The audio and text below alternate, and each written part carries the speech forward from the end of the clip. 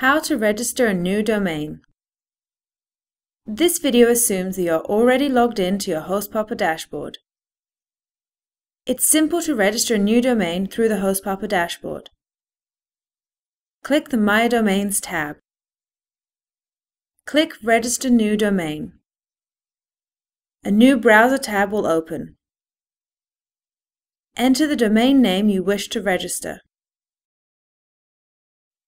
Be sure to select the correct domain option from the drop-down list. Click Continue.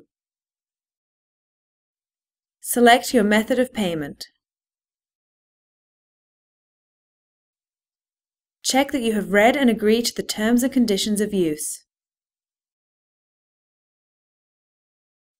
Click Continue to confirm your transaction.